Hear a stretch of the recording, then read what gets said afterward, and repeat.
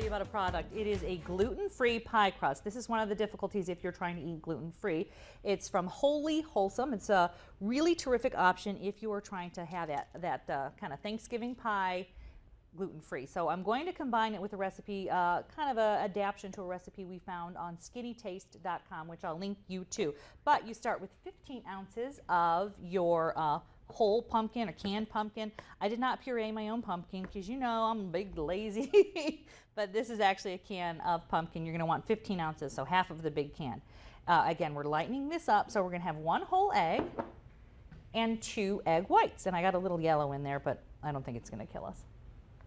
Now, I am using three quarters of um, brown sugar, but you can also substitute half of this brown sugar, half Truvia, half of your other kind of zero calorie sweetener, or even the whole thing can be that Truvia and you would be okay. Uh, I really kind of like it. All the other flavors, you don't miss having a ton of real sugar in there. We're going to put in a half a cup of skim milk. We're going to put in two tablespoons of lighter butter if you want, or real butter if you're feeling like you've exercised a lot this week, and it's fine, you can have real butter.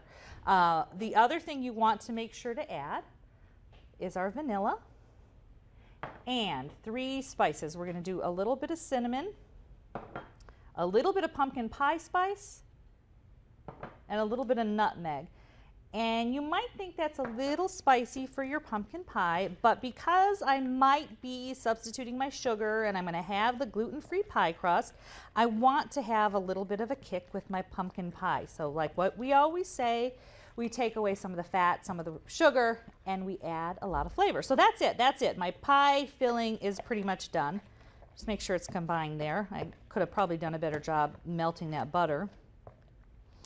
But I could probably do a better job with a lot of things. I'm a princess for Pete's sake. I should have people melting this butter for me. Josie!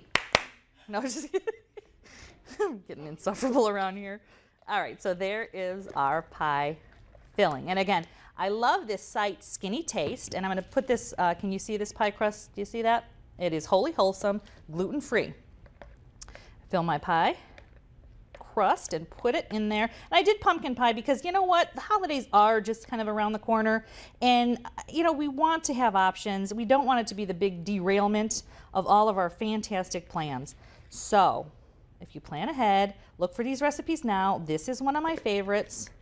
This will, you will lose nothing by doing this to your pie.